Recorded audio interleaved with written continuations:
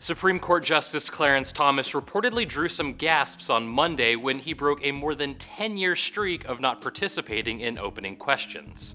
He asked an attorney several questions regarding legal precedent and the Second Amendment during a case to determine whether people convicted of domestic violence should be prohibited from owning guns. He asked the federal government's attorney, Can you think of another constitutional right that can be suspended based upon a misdemeanor violation of a state law?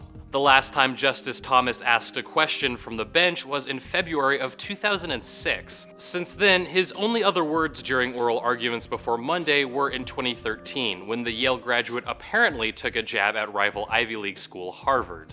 We've all opted not to participate in political debates before, but some critics have argued that Thomas's silence shows he's just not interested in the discussion. In The New Yorker, Jeffrey Toobin wrote that by refusing to acknowledge the advocates or his fellow justices, Thomas treats them all with disrespect. But Thomas has his own reasons for keeping quiet.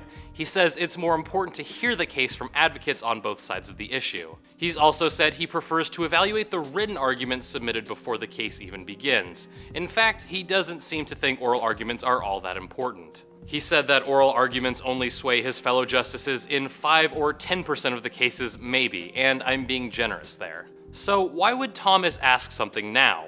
It may be due to the absence of the late Antonin Scalia.